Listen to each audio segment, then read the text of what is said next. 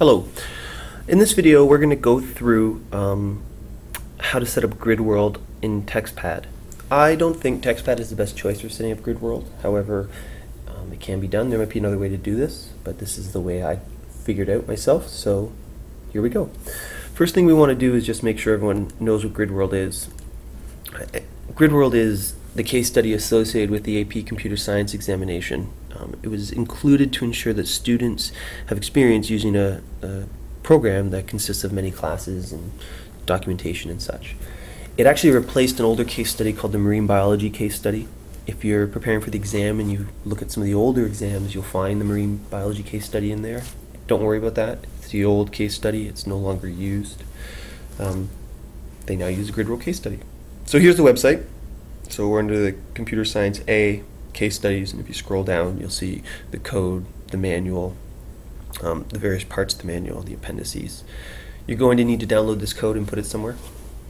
Um, I do recommend printing out the manual as well as the appendix. The reason why is because as you're working through your code, it's really good to have that off to the side so you can look at it um, in hard form. Also, in the exam, you're given a copy of the appendix, so practicing using a hard copy of that while you're actually just doing your day-to-day work is, is a step in the right direction in terms of preparation.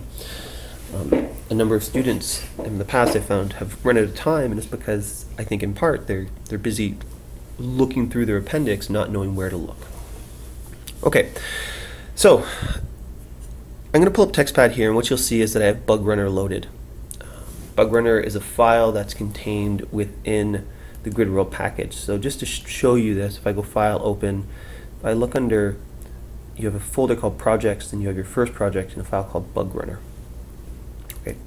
If I try and run this right now, um, by hitting Control 1, I get a whole bunch of errors. Okay. Um, and if you take a look at the nature of these errors, what you see, if I scroll up here, you see that it does not exist. It's talking about all these different packages that don't exist.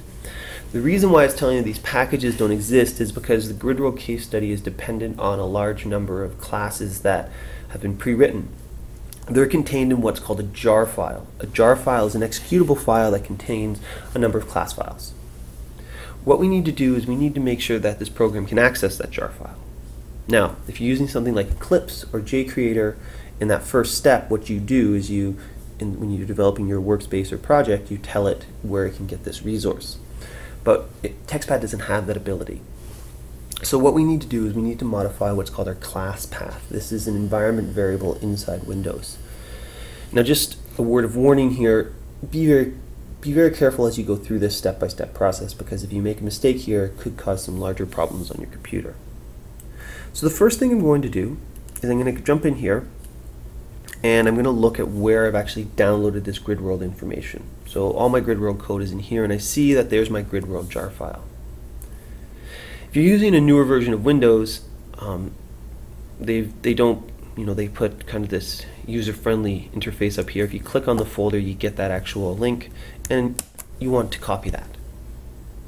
So now what you're going to do is you're going to come down into your Start button. And I think my Start button is actually off the screen here, so you can't see it. But we'll do this anyways. Select start and there's a bar at the bottom of your start and if you type in environment variables you get an option called edit environment variables for your account. We select that and you get this information up. What we want to modify is the class path. So if we select class path we're going to select edit um, and then I'm going to go to the very end of the line and I'm going to put a semicolon. Now again, at this point you don't want to make a mistake. So if you think you've made a mistake or something, just go click cancel, start again.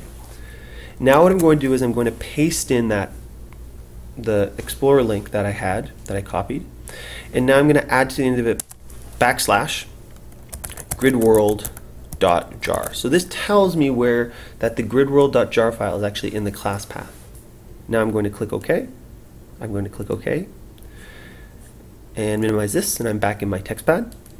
I'm going to take a little risk here. I haven't actually tested this before doing this. I'm kind of doing this on the fly. I'm going to try and build it and see if it finds it right away. So let's see. There you go. So I don't need to reload it for it to know this. But what I've done now is I've actually told the Windows system that any anything that's running, it can always access that GridWorld jar file. So now you're good to go. If you hit Control 2, you'll find your grid world will pop up. Again, just a quick little breakdown of this screen here. Um, we have three, three buttons along the bottom with the scroll bar. We have a grid. We won't worry about the toolbar along the top right now. What we essentially do is introduce actors onto this grid.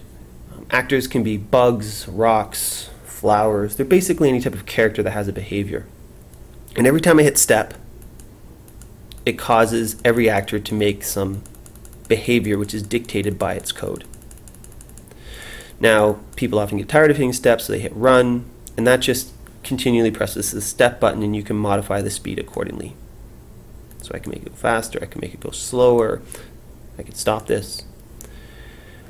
Important at this point, play around, experiment.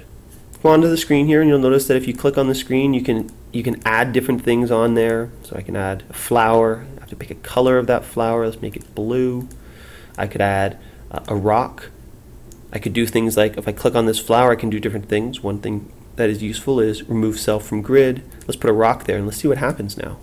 Ooh, a rock. Let's make the rock green.